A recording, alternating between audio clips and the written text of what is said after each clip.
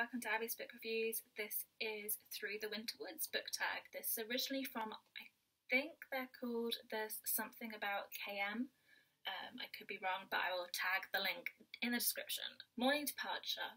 It's best to take advantage of those early daylight hours during the short days of winter. Name a short book that brought you joy.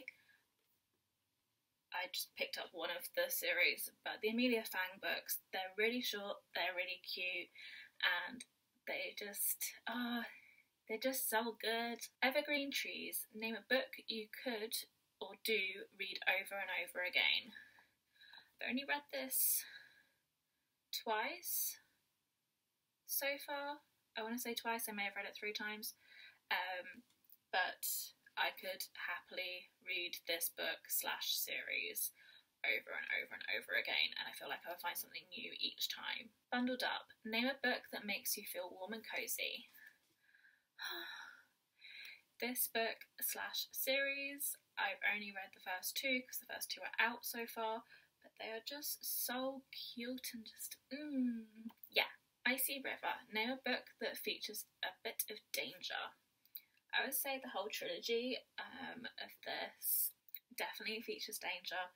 Can't remember exactly how much is in the first one, um, but yes, Dark Shade of Magic.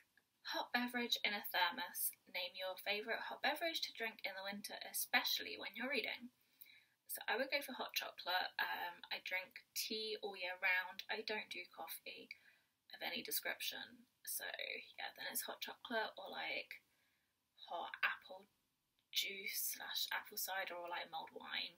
I wouldn't really have those while reading. I don't tend to have them that much, but I just feel like a winter night you want to like, not that we have a fire, but like cut up next to the fire with a book, a blanket, and a hot chocolate. Like that's the best thing to do.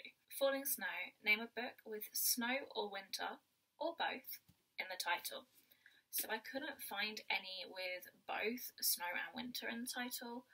Um, I found a few snow ones, but I wanted to show this one off just because it's super pretty. So it is Winter War Awakening by Rosalyn Eves. It's the third in the Blood Rose Rebellion trilogy, and it was so good. Horse Drawn Sleigh. Name a book that took you on an enjoyable journey. Daughter of the Pirate King by Tr- Tricia Levenseller. Like this duology is just, uh, I love the banter, I love characters, um, and I love the journey that they go on as well. Frosty Breeze. Name a book that sends shivers up your spine. I would go with like the Truly Devious trilogy. I listened to it earlier this year, hence why I'm not holding it. I do not own it yet. I really, really want to. I don't own it, and I. Uh, it was so good, but like kind of creepy at the same time. A camera to capture the scenery.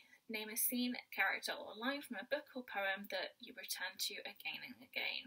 So I always go with the first line from this, which is, if I remember correctly, Kell wore a very peculiar coat.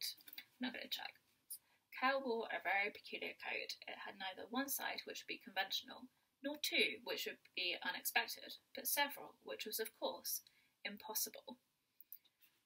And I just feel like it's such a good first line Kell or a peculiar because it's just like what's different about it and then you find out and you're just like what like that's so weird and random but I want to know more and I just feel like it draws you in and it's like one of my favorite first lines it's the one that I always think of when I think of first lines and yeah there's so many good quotes um, and lines and stuff from loads of different books but it's always one that I go back to. That is it.